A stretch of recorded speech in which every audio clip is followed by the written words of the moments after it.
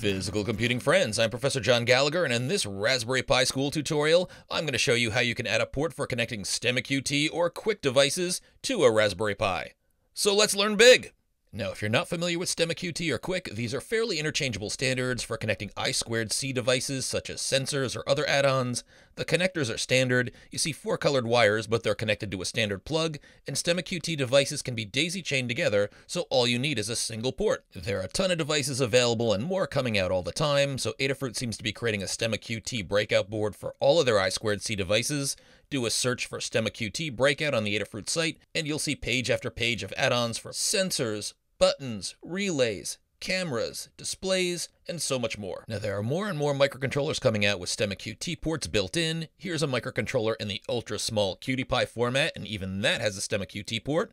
And when I plug one of these breakouts into the microcontroller, all of them get power from this single port. I've got a 12 pad capacitive touch board, a temperature sensor, a proximity gesture and color sensor, and even a small display. I'm just using this single port and no breadboarding is needed. And if your Stemma QT breakout has two ports on it like most of these do, it doesn't matter which port you use. Now you might see two names for this standard. SparkFun came up with a standard and called it Qwiic, Q-W-I-I-C. They offered it as an open source standard, so Adafruit adapted it and extended it to use both 3.3 volt and 5 volt devices. Qwiic is just 3.3 volt. Adafruit calls their minor variation Stemma QT, but the cabling is the same, and you should be able to plug any Qwiic device into Stemma QT. Now one very important note, Adafruit also has a standard called Stemma without the QT, which requires a different cabling format. Also confusing, some but not all Stemma devices can be connected to Stemma QT with an adapter cable. Now if you ever need to work with a plain Stemma format, Adafruit has a page describing the differences between these formats.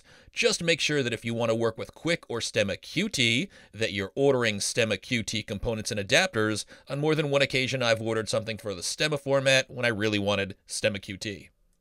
Now, while there are a growing number of boards that have StemmaQT ports built into them, the current Raspberry Pi boards unfortunately do not. But fear not, it's super easy and fairly inexpensive to add StemmaQT to a Raspberry Pi, and you've got a few options. SparkFun has a couple of hats that sit on top of the Raspberry Pi. Both have four StemmaQT ports. This one has four ports on the side, while this one has two on the top and two on the side. I actually prefer this shim. It leaves the rest of the Raspberry Pi's pins accessible. You just slide it over the pins at the end, and since you can daisy chain StemmaQT devices to one another, one StemmaQT port is all I need for most of my builds. Just make sure if you're buying any of these that you also buy as many StemmaQT cables as you'll need. StemmaQT cables don't come with the hats, shims, or devices.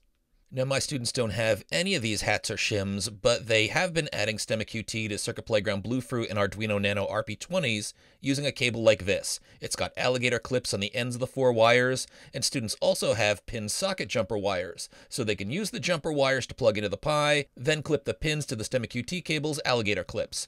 Now, there are also versions of StemmaQT cables that come with sockets on the end of them, so you can plug them directly into the Pi, or you can get a version with pins to plug into a breadboard if you want, so there's a wiring option for pretty much any setup you'd need. Now for my students and anyone else that doesn't have a hat or a shim and is wiring a StemmaQT port directly to the Pi, StemmaQT has four wires. Plug the red or power wire to the 3.3 volt pin, and if you're using the diagram on pinout XYZ, that's pin number one. You can also put the ground to any ground pin, but I'm using pin 6 here. And if you look at the Raspberry Pi pinout diagram, you'll see SDA is GPIO pin number 2, or pin 3 on the pinout diagram, SDA is the blue wire, and SCL is GPIO pin 3 or pin 5 on the pinout diagram. SCL is the yellow wire. And that's it. This might be all you need for starters, but in the next video, I'll show how we can use CircuitPython and this ultra cool StemmaQT 12-pad capacitive touch breakout board, the MPR121, to create a touch sensing Raspberry Pi based drum machine. And remember, you can find playlists for all sorts of related topics on my YouTube channel. These are all the videos that I use in the physical computing course that I teach at my university for students that are new to programming or electronics. Be sure to subscribe, new videos are posted all the time, and a like helps others find this content too. Thanks.